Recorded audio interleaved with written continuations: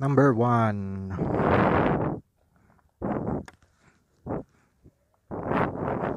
Tara.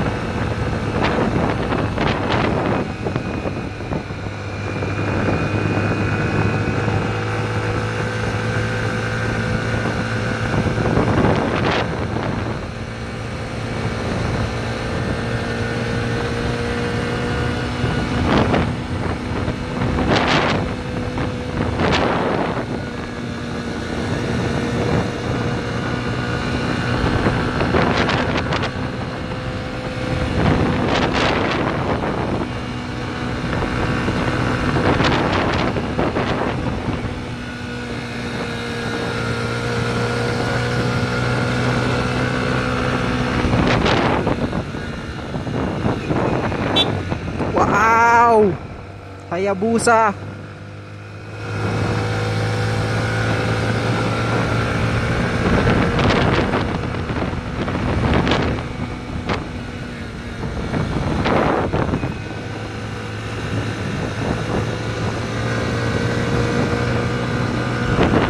Okay, kamusta? Ewan ko, narinig nyo ako ngayon. Pero ngayon kami ay, kita nyo naman, binabaybay na naman namin yung Marilake.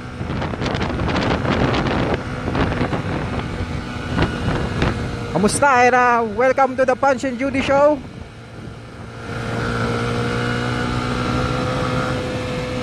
Pupunta kami ngayon, magmemeryenda kami ngayon sa isang sikat na sikat na kainan.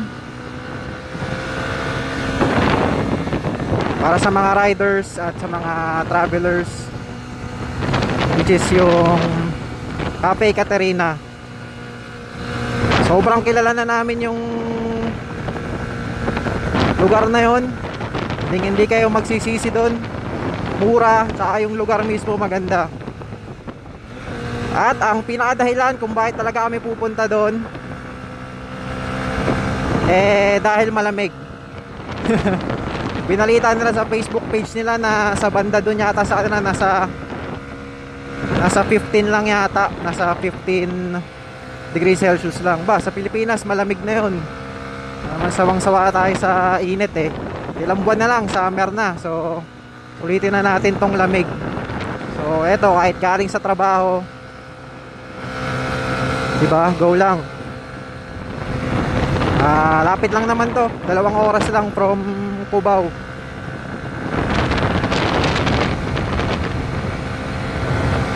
So ayun samahan nyo kami ngayon. Magme-merienda lang kami. So short ride lang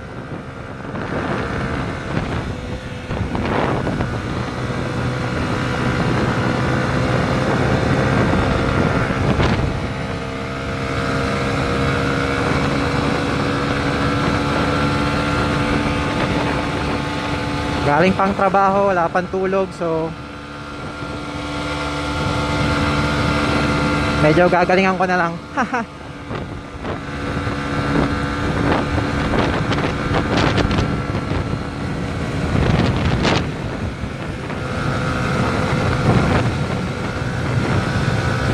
weekend, weekend, medyo wala masyadong sasakyan dito, so medyo laro-laro lang tayo ng konti, panoorin nyo na lang.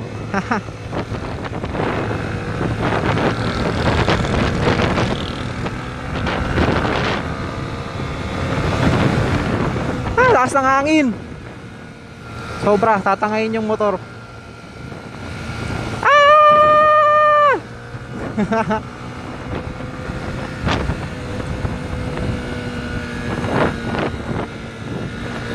Medyo i-chill-chill lang natin dahil may angkas tayo.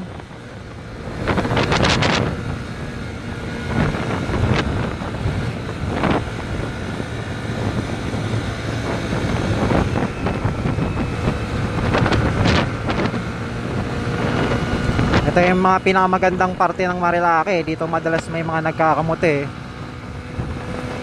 Kami ngayon, actually, nagkakamote kami ngayon. Pero medyo konting kamote lang kasi sumusunod pa rin kami sa road line. Hindi kami kumakain ng isa pang lane. So medyo konting pagkakamote lang. Pero lampas kami sa speed limit syempre. Hindi medyo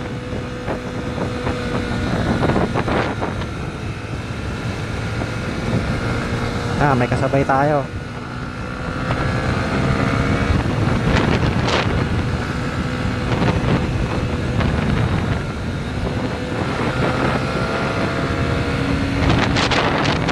Ops, diba? Ay, ito, medyo ano dito eh. Uy, daming sakyan.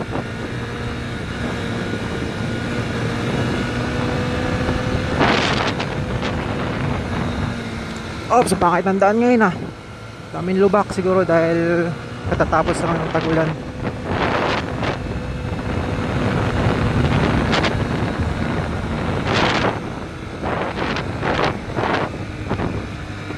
Ito isa sa mga pinaka-technical na liko. So, tignan nyo naman malupa. So, slow down lang.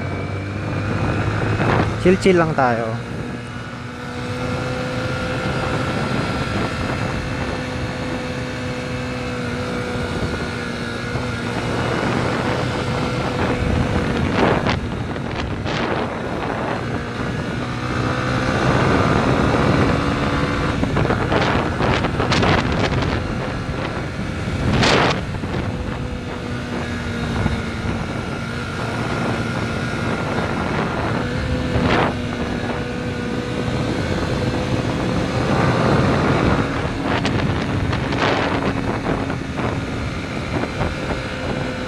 Alright, matatapos na yung mga pinakamagandang parts. So, pagkatapos doon, marami na sasakyan at kabahayan. So,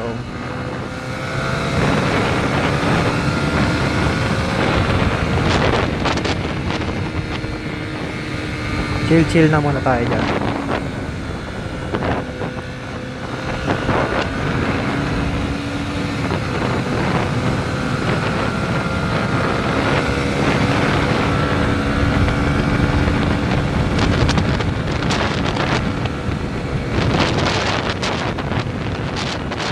Ito, maraming kabayan sa party na to. 'Di ba? Halos kabisado ko na to kasi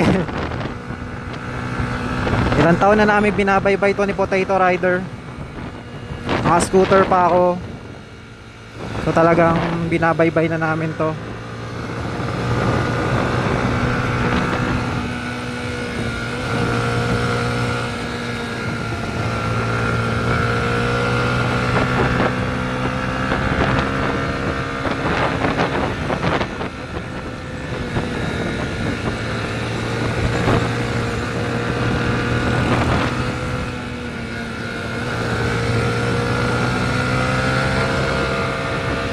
No, basa. No.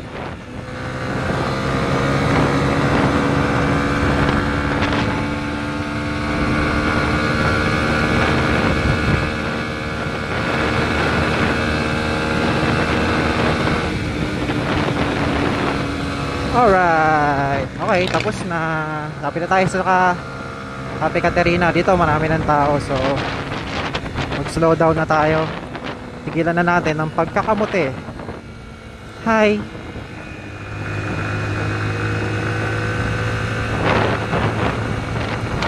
Simple lang naman yun.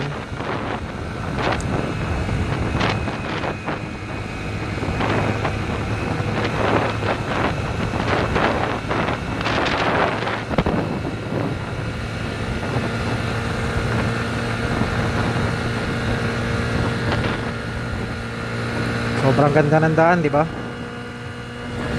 Hindi ko rin masisi iba kung bakit gusto nila magmabilis dito eh. Kasi maganda, alam mo yun. Magandang pag-trainingan din eh.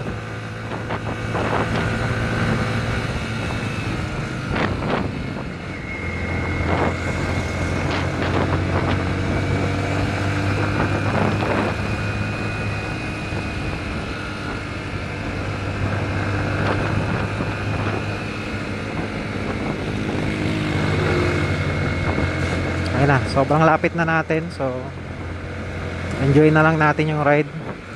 Mukhang na trigger to si kuya nung maunahan natin siya kaya ayan pinipilit niya akong unahan. Eh hindi mali naman natin nagmamadali lang talaga siya. Pero tulad nga ng sabi ko hindi mo talaga masisisi yung iba kung bakit gusto nilang magmabilis dito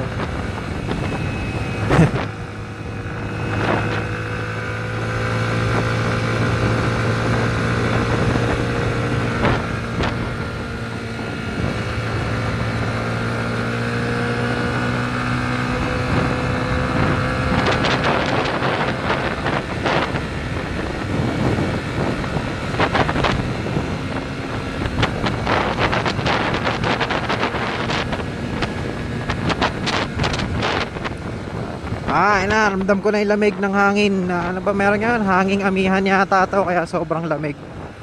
So, ito yung pinunta namin dito. Oops.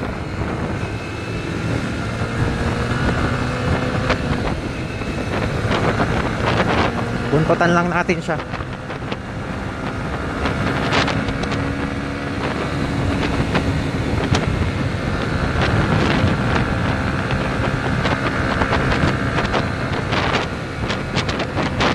Wow, ganda oh. Yan ang mga hindi nakakasawa dito. Yang view.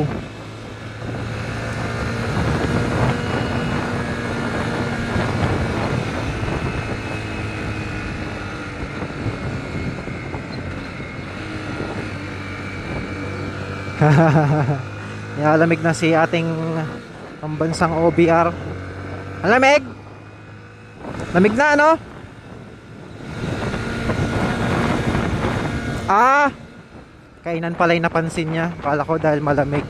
Iba talaga tong OBR natin. Kainan ang napansin. Pwede naman talaga hindi lang ba't kami nagpupunta dito dahil sa mga pagkain. Masarap magluto yung mga tao dito eh.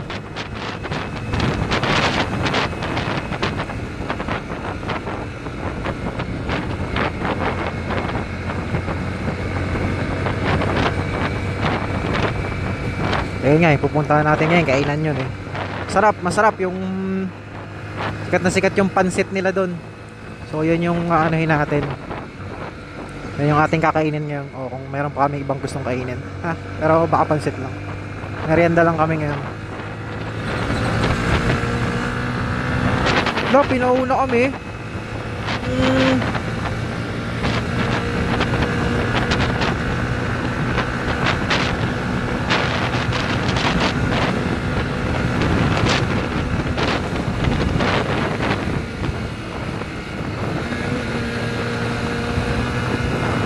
Minsan makakababa ng pride pag pinapauna ka eh. Hindi mo kaya kang paunahin. Kaya kitang unahan. eh, joke lang. Okay din yun. Huwag kayong basta overtake lang ng overtake at uh, delikado din.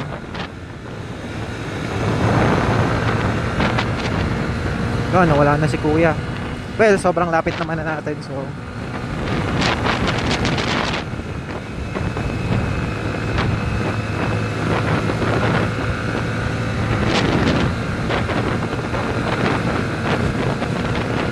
Ah, doon pala siya. Hasan, eh, mga kainan din yan. Tsaka mga mountain resort. Ah, tumaambon na.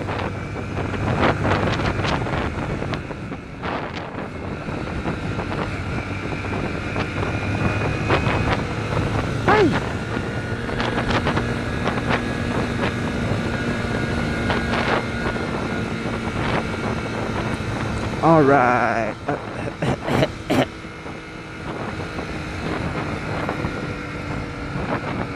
It's good. This is good. Okay. Wow, tignan nyo. oh. Doon. Bundok. Literal na nasa tuktok tayo ng bundok.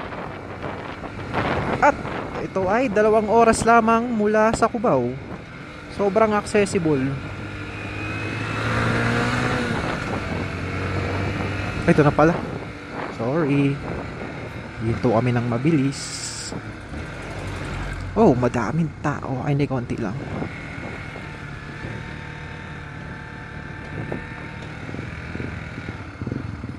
Park natin ang motor dito sa harap.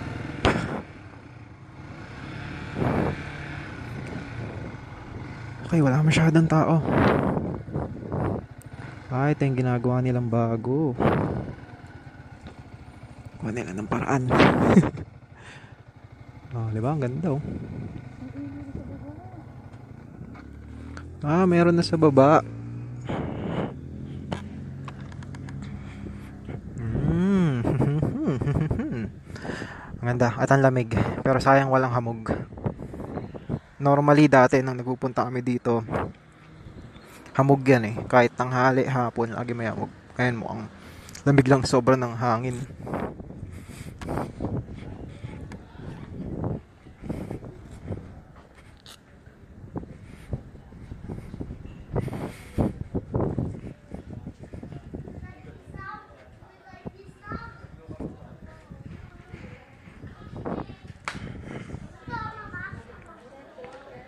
Hindi pa pwede dun sa baba. Ah, pwede na.